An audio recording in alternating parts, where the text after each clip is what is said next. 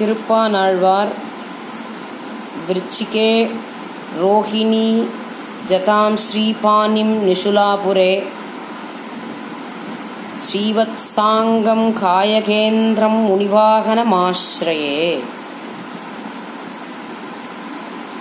கார்த்திகை ரோஹிணினால் காண்மினின்னு காசினீர் வாய்த்த புகழ்ப்பாணர் வந்துதிப்பால் ஆத்தியர்கள் அன்புடனேதான் அமலனாதிபிரான் கற்றதற்பின் நன்குடனே கொண்டாடும் நாள்னு.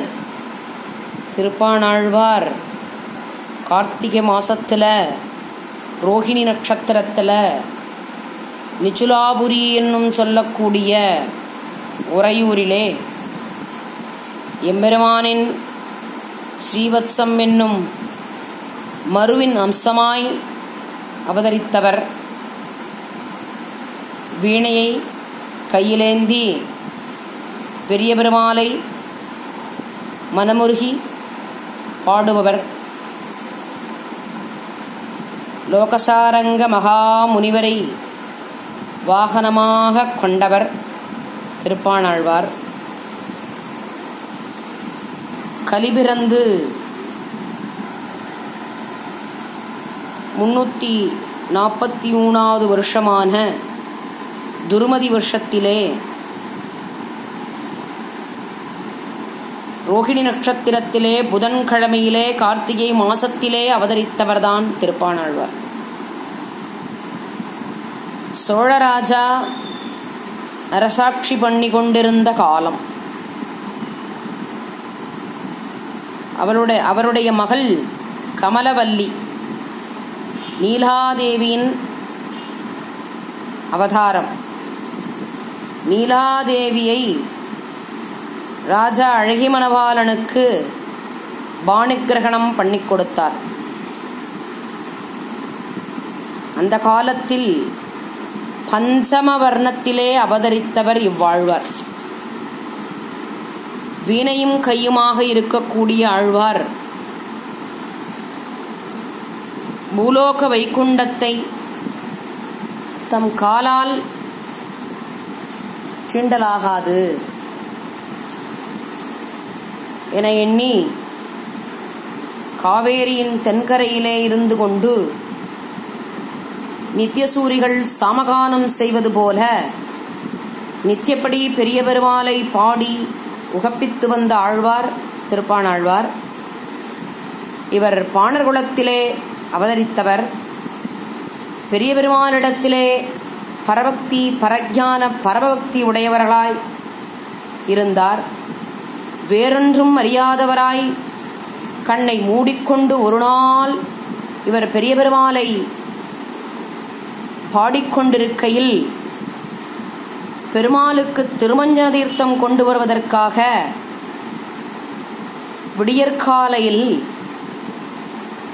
திருமஞ்சன குடத்தை எடுத்து கொண்டு வந்து லோகசாரங்க மகாமுனிவர் இவரை பார்த்து தூரப்போ என்று சொன்னார். அதாவது தள்ளி போ அப்படின்னு சொன்னார். உடனே பானரோ எம்பெருமானுடைய பக்தியிலே மூழ்கி போய் பாடிக்கொண்டிருந்தார். இவர் சொல்வது அவர் காதில் விழாத காரணத்தினாலே இந்த லோகசாரங்க முனிவர் திருப்பாணர் மேலே ஒரு கல்லை எடுத்து வீசி எறிய அந்த கல் அவர் முகத்திலே பட்டு ரத்தம் பெருகித்து உடனே அவர் கண்விழித்து பயந்து கலங்கி இப்படி பாகவத அபசாரத்துக்கு ஆளாகிவிட்டோமேன்னு வருத்தப்பட்டு தானே தள்ளி போய் நின்று கொண்டு பெருமாளை பாடிக்கொண்டிருந்தார். லோகசாரங்க முனிவரும் தீர்த்தமாடி நித்தியகர்மானுஷ்டானங்களையெல்லாம் முடித்துக்கொண்டு திருமஞ்சன தீர்த்தத்தை எடுத்துக்கொண்டு எம்பெருமானுடைய சன்னதிக்கு சென்றார். திருப்பாணாழ்வாருக்கு பட்ட அடி பெரிய பெருமாளுடைய திருவுள்ளத்திலே பட்டது. லோகசாரங்க முனிவரை கோபித்துக் கொண்டு திருக்காப்பு நீக்காமலே இருந்துவிட்டார். லோகசாரங்கர் தாம் செய்த தவற்றுக்கெல்லாம் மிகவும் வருந்தினார். அன்று இரவு பெரிய பெருமாள் லோகசாரங்க முனிவரின் சொப்பனத்திலே எழுந்தருளி நமக்கு அந்தரங்கரான பான்பெருமாளை நீர் உம்முடைய தோளிலே ஏற்றிக்கொண்டு வாரும் என்று நியமித்தார். லோகசாரங்கரும் எம்பெருமான் நேமத்தை சிரமேற்கொண்டு வெகு தூரத்திலே வீணையை வைத்து பாடிக்கொண்டிருக்கும் பான்பெருமாளை பார்த்து அருகில் வந்து எம்பெருமானின் நியமனத்தை அவரிடம் விண்ணப்பிக்க பாணர் முதலில் பின்வாங்கினார். முனிவருடைய திருத்தோளிலே ஏறுவதற்கு அவர் மிகவும் வருத்தப்பட்டார். பின்னர் எம்பெருமானின் நியமனம் என்பதால் முனிவரின் தோளிலே ஏறிக்கொண்டார். அம்முனிவர் ஆழ்வாரை எழுந்தருளப் பண்ணிக்கொண்டு அழகிமணவாளன் திருமண்டபத்துக்குள்ளே திருமண்டபத்துக்கு எழுந்தருளினார். பெரிய பெருமாளும் தன்னுடைய திவ்யமங்கல ரூபத்தையெல்லாம் சொரூப ரூபத்தையெல்லாம் காட்டிக் கொடுத்தார். ஆழ்வாரும் கண்களாரக் கொண்டு அப் எம்பெருமானுடைய அழகை முழுவதுமாக அனுபவித்தார். அப்பொழுதுதான் அமரநாதிபிரான் என்னும் பிரபந்தத்தை அருளி செய்தார். அந்த பத்து பாசூரங்களாலே லோகத்தில் உள்ள ஜீவாத்மாக்கள் உஜ்ஜீவிக்கும்படியாக திருவாய் மலர்ந்தருளினார். பெரிய பெருமாளும் ஆழ்வாரை திருமேனியோடு அங்கீகரித்துக் கொள்ள அமரநாதிபிரான் அடியார்க்கு என்னை ஆட்படுத்த விமலன்.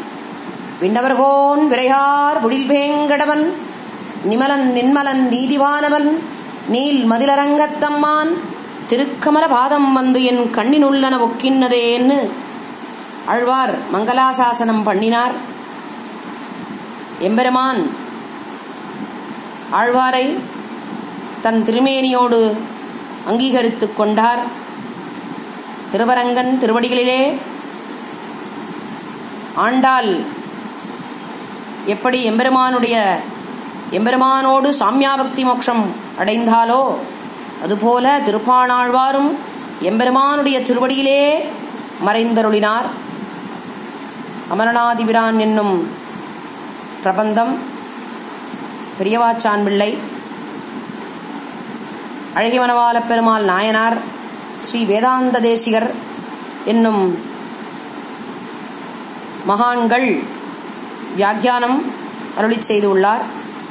கார்த்திகையில் ரோகிணினால் காண்மினெண்ணு காசினீர் வாய்த்த புகழ்ப்பானர் வந்துதிப்பால் ஆத்தியர்கள் அன்புடனேதான் அமரநாதிபிரான் கற்றதைப்பின் நன்குடனே கொண்டாடும் நாள்னு. திருப்பானாழ்வார் திருவடிகளிலே எல்லோரும் சரணமடைய வேண்டும் என்று பிரார்த்தித்துக் கொண்டு திருப்பாணாழ்வார் சரித்திரத்தை அனுபவிக்க பிரார்த்திக்கிறேன். ஆழ்வார் எம்பெருமானார் ஜீயர் திருவடிகளே சரணம்.